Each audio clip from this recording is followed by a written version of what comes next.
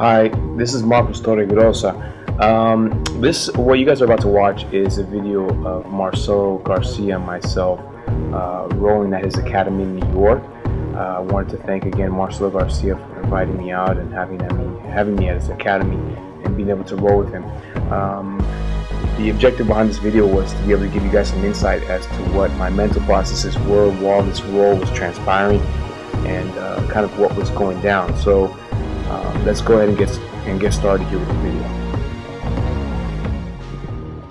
So here we begin our roll. I started jockeying for for grips here. Um, this was our second roll, so I had a pretty good idea of what side I wanted to start passing to. I started passing to my left and tried to create some options by way of a leg drag hoping that he would react in a certain manner. But if you guys look um, here, he's really good about addressing uh, distance control. So right here, you're to see I drop my right knee down just for a split second, just for a split second, and then he takes me up and over to my right hand side. Again, when I'm leg dragging towards my left, um, he's really good about controlling the distance. You can see his right hand here on my collar. He's pushing away, creating just enough space uh, for me to make a mistake here, drop my right knee down, and with his left hand here you can't really see it but he controls and sweeps me out to his left.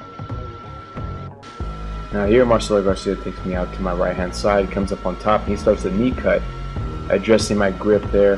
He did a really good job of, distance control here too as well. So now I enter into my spider guard system. This, this is where I feel at home. I love this stuff.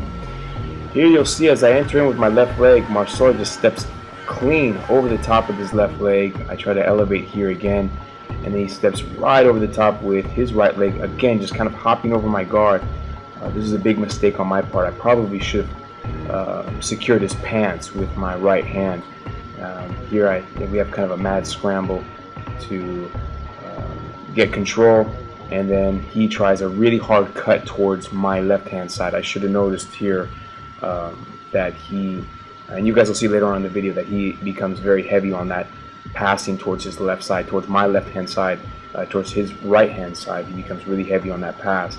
And so here I try to keep my left knee up um, and my hips up to expose options on uh, my right hand side, which usually ends up being an omoplata or a triangle or something to that effect. And here you see Marcelo Garcia defend his defend my omoplata attempt perfectly. Here we continue to see Marcelo Garcia defend my omoplata, just perfectly posturing up, exactly what you need to do. And here I go back to my left uh, leg grip right here, my spider guard. Again, this is where I feel at home. I, I feel real comfortable here. I love creating angles here. I almost uh, attack here from Marcelo's back, and I start moving into a bit of a leg wrapping, X guard um, position right here. Now this becomes increasingly difficult. You guys will see as the, as the camera pans a little bit here. You'll see right about there that Marcelo Garcia with his right hand is controlling my left sleeve. This makes it really, really difficult to get underneath him because I like to use my hands to grab the ankles, take them off balance, and create options. Uh, much like Marcelo, Marcelo Garcia himself, he likes to uh, create options by grabbing the ankles and uh, straightening out the leg and pushing the hips away from the opponent. So this allows for him to keep his posture up really high and it keeps me in a constant, uh, it's constant uh, kind of a frantic scramble to get uh, some measure of control, uh, which I'm not I'm not ever able ever able to um, address properly and, and acquire myself. So you'll see Marcelo Garcia kind of stepping towards his left, you know, stepping back with his, his right leg, and I'm never able to get the 50-50 in this position. And just at the right time, you'll see his left leg shoot out, and then he begins on the passing series. Take a look. All right, here we go. Uh, continue on the position, you see Marcelo just stepping backwards with his right leg. He's keeping his base, keeping his calm, not doing anything drastic. He's just holding onto my sleeve, making it real difficult for me to to get into a proper sweep. I can't really secure a 50-50, so I try to retract my leg, push on his leg with my left um, to cut his leg across for a 50-50, and I still am not able to acquire it. He stands back up, still holding on to my left hand sleeve, You'll see just he's just stepping back with his right leg and bam, he steps with his left leg out. And he begins immediately trying to go for a low pass to my left hand side. Uh, at the time we were rolling, I wasn't able to see that or address it properly. So here we start again. There's something that I wanted you guys to see here. You guys noticed that before uh, he had done this on my left hand side, now on the right. So here you see me standing up here with the left. Um, my left leg comes up and I'm trying to move closer to close the distance. And just as my knee comes down and hits the floor, you see his right hand is on the back of my tricep. Um, boom! He starts he, he, starts moving on his on a sweep to my left hand side. He had done it before on my right hand side. My right knee had come down earlier on in the match. I don't know if you guys remember, but he dumped me to the side, to his left hand side. This time, he did the exact same thing, but on my left hand side, on the opposite side. Pretty impressive how dynamic he was and how ambidextrous he was. He, uh, I stepped up as my knees started coming down. You can see him pulling right here down with his uh, right arm. It was behind my tricep, and he begins a butterfly sweep to my left hand side. Perfect timing, beautiful timing, uh, expertly applied by a master. So here, moving forward, you'll see Marcelo. He tries to sweep me again to my left-hand side, uh, entering into his uh, very characteristic leg wrapping X guard. And I see him controlling my right arm right here. I notice right away this is bad, so I'm, I'm yanking my arm out. I'm trying to keep my lapels away, so has to limit his control. I was waiting for him to start working the control on my hip. And uh, it was either going to come in his left leg on the outside or the right leg on the inside right here. Uh, you guys notice that right leg is going to come and push, and that was the opportunity I needed to um, start addressing that leg with my other arm, my uh, left arm in this case. And uh, what I was going to try to do is stand straight up by pulling that leg, and, and, I've been working a lot of leg drags off of this. So I wanted to see if I can get my right control of my right leg back because you'll see that my my foot is close to Marcelo's head. He's got great control with his left arm, and I need to get my knee back to get control again of the situation. Having it so far away from my body and from my base was just really compromising my position. So um, I wanted to try to leg drag off of that to see if I can expose a weakness in his game. And you guys will see as we progress here forward that I try to posture up, pull his leg across, and Marcelo again uh, moves into another one of his power plays. Alright, so here we go. I'm, I'm trying to pull up on his leg, get control of the situation again, get my leg back in a position where I have my base. Marcelo goes back to his position, very strong leg wrapping, so I try to push again his right leg, uh, get, get, get my bearings back, be able to stand back up with my left leg. He's just doing such a great job of controlling my hips. And he goes back to that, that grip, that, that grip on my right arm. And you'll see my right arm pushing his left leg down to keep it away from my hip, try to get some bearings back. It's just too powerful here. And uh, the sweep puts me back into my open guard. So here, I'm extending again with my left leg. This is again my power play. I hook. Uh, Marcelo tries to knee cut here. And uh, here he tries to switch sides very quickly. Switching sides. Um, again, going heavy towards my hip on my left hand side. This is something that repeated, and I, I didn't have a chance to observe it while it was happening. Now again, hindsight is always 2020, so now I can see it. But um, I saw him really making a hard push to control my hips towards his right hand side or uh, my left hand side. And uh, again, I try to defend this in an offensive manner by attacking the omoplata on his left arm right here. You guys will see that I'll put my left arm in front of his head, keep my left knee pretty high here, and that's in an attempt to stop his hips from dropping and stop controlling. You'll see later on in the match that he does end up progressing to a much better position here, but uh, my is here with the omoplata, uh, with, an, offensive omoplata, was working good, at least in the initial part of our match. It's pretty interesting to see how he moves past that later on.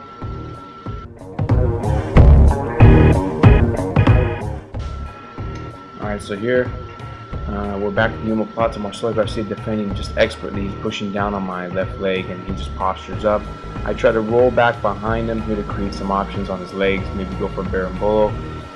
Uh, again, he passes heavy to my left. Again, trying to move to the hip and he goes forward again. This time he, uh, he achieves his goal. He gets inside on my hip. Um, I'm not able to create the distance in time. My distance control is not sufficient enough to stop him from getting in. You'll see his right leg kind of pushing on my knee right here. He's almost parallel to the ground, very comfortable. I felt like, you know, this is just a specialty of the kitchen. Marcelo uh, is just a master here, and everything I did was digging me into a deeper hole. So uh, I'm, what I'm trying to do here is now find a way to recover guard, uh, get an underhook, and, and, and Mr. Garcia just did not give me an inch. Bam! And he snatches that right leg, that right arm over the top, and you'll see. Uh, it, it's it's really crazy uh, the choke, how fast it comes on, but how efficient it is too. Uh, I never felt Marcelo Garcia squeezing, like using strength to get this to work. All he did was the right arm came over the top, he snatched it up, and I literally could not move left or right. Like I tried to turn my, my head initially to the left to try to turn in towards him with an underhook.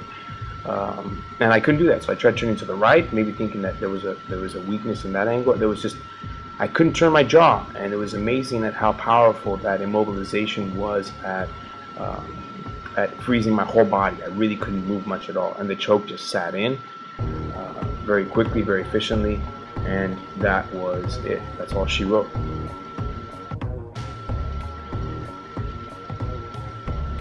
So here I begin to start uh, contemplating another plan of attack. I'm tying my belt. I, we both kind of toss our belts, right? Not to waste any time. I wanted to take advantage of much, as much of the time I'm rolling with Marcelo Garcia as I could. So jockeying for grips here, and Marcelo, uh, you'll see right here, enters right back into the sweep to his left-hand side. It's like a trigger for him. It's so so fast, so efficient. It's very very impressive.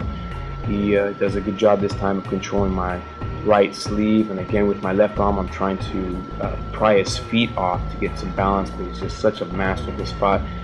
He comes right back on top breaking my grips very efficiently to stop uh, my open guard and I decided to try something new. Went to close guard this time considering my open guard was just not having much success. I go for a couple close guard uh, changes in angle right here. I tried to go for a sweep. I was kind of thinking Uma Plata here but I knew he was onto it so I was thinking maybe upside down uh, De La Riva. Uh, here he just starts stepping back. His base is so solid here, you know. Um, he opens up and enters in again off a knee cut. He uh, goes right back into uh, a hip control position. Again, very bad position for an open guard player. So right here, I wanted to freeze real quick so that way I can kind of give you guys some insight as to what I was thinking. I had my right arm inside and I wanted to get my right arm as deep into his collar as possible. I also wanted to get my right foot underneath his knee. I wanted to do this in an effort to be able to elevate him towards my left hand side, uh, try to get him, try to bait him into coming back in towards me so I can maybe go for a back attack. I have a really sick back attack that I work off of this that I go over uh, in my app on, on the iTunes store. Uh, so I, I was trying to set that up, a deep grip on my right hand, right right foot underneath the knee.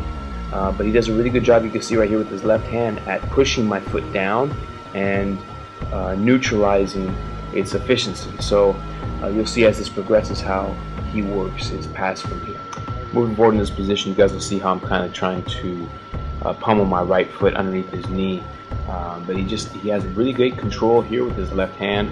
I'm trying to again create some space with my right arm, try to elevate his head and just get a better angle on pummeling my foot inside. Marcelo, you'll see right here, just pushes it out. Uh, he steps over the top initially with an intention to pass and moves uh, right to a mount. Pretty, pretty sick transition on, on his part here. I just could never really get enough angle to elevate his knee here. You guys will see I'll get my foot underneath just a little bit, but not enough to stop that right leg from coming over the top. Uh, very, very, very slick on, on Marcelo's part. Uh, now he, he stabilizes him out here and you guys will see my right hand here coming towards his pant. Um, this is a it's a mount escape I've been using for the longest time. The upa mount escape I always felt that left me um, exposed to chokes and arm bars and back attacks. So this is one of my higher percentage back, back um, sorry mount escapes and I, I didn't really get a chance to flesh it out before the match uh, ends with Mr. Garcia. But you guys will see how I'm kind of setting it up right here. I keep my feet close to my bottom, use my right hand to get his foot uh, straight, which which in turn gets his hips a little bit over the top of mine, and I try to create an angle to hip escape and get my other foot over the top. Check this out. Now, so you see as, as the match uh, progresses here, I'm using my right foot here to, to get his foot away from the body, um, the right hand on the on the pant, and I try to hip escape here to get my foot over the top and get a half guard position. Just as the the match ends, Marcelo Garcia he's on to me, he's on to my shenanigans. He was about to dress my hand there. So um, what could I have done differently? Uh, this is this is really difficult. You know, I tried to throw some of my best stuff at Marcelo, uh, both gi and no gi. Uh, if you guys haven't had a chance to check out my no gi roll with him, take a look at that. That's also on YouTube. Um, I tried to throw everything in the kitchen sink at him.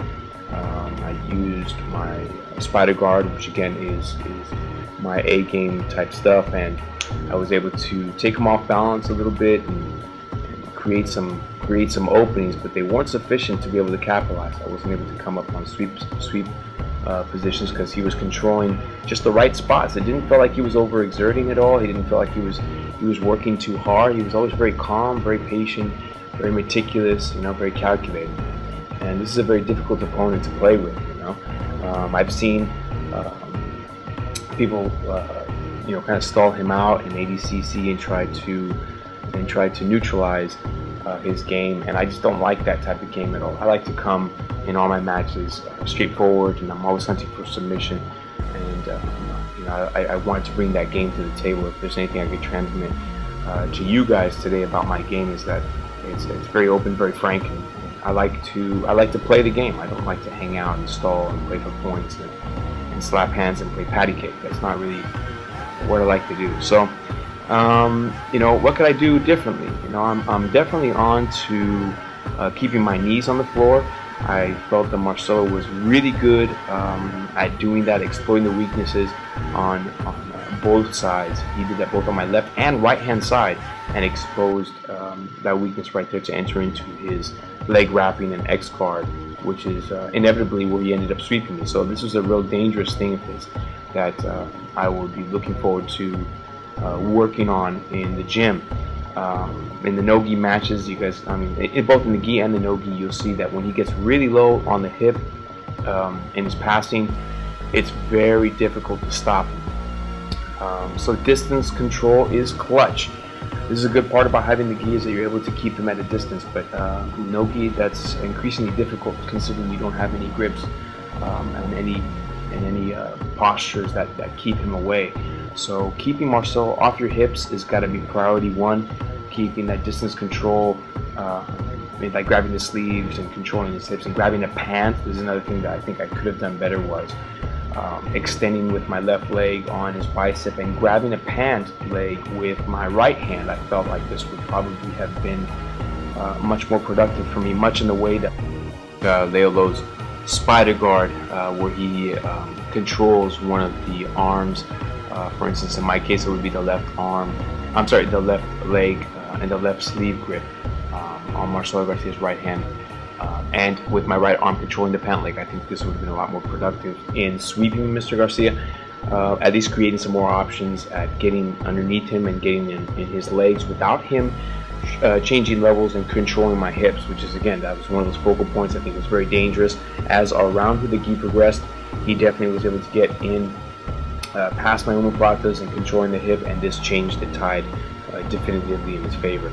So um, these are some of the things uh, I, I, I, definitely want to focus on for the next time that we get the opportunity to roll. Um, I want to thank Mr. Garcia and all those at uh, MG in Action for placing the, the videos up, and, and Marcelo himself for thanking. Uh, thank you very much, Marcelo, for having me out here at your academy. Um, I had the, the opportunity of a lifetime to uh, meet one of my heroes and be able to confirm that he's just a, an awesome person both on and off the mats. Uh, thank you very much for this opportunity. You know, uh, Paul Schreiner that uh, invited me out there. I was able to stay at his place. Thank you very much, Paul, for having me. Uh, Rafael Rosendo for the awesome training. You know, all the guys over there at MG. Thank you very much. Uh, I appreciate the opportunity for you guys opening up the doors to me and, and welcoming, welcoming me with open arms. to all you guys watching this video. If you guys are interested in checking out some more of my stuff, um, come to our website www.yemasobjj.com or you can follow me online on Facebook under Yemaso or Twitter uh, at Marcos Yemaso. I look forward to hearing from you guys. If you have any questions, please place them in the comments below. I'll do my best to be able to address them in a timely manner. Again, thank, thank you very much, guys, for watching the video, and I look to, forward to hearing from you guys very soon. Take care.